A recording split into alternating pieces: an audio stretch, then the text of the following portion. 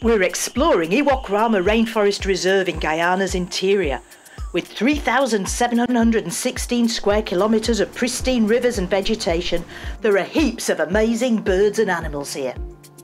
At Iwokrama River Lodge, we go for guided forest walks and on trips down Essequibo River. The resident black caiman, Sankar, hangs out near the boat dock. We also stay at Atta Rainforest Lodge. This place has a lovely garden with lots of wildlife in it. This afternoon we're off to Atta Lodge's famous canopy walkway. We see the coolest snake here. The access road to Atta Lodge is another great place to see wildlife. We're going to see if we can see the cock of the rock. The Rainforest Reserve is a remote and beautiful region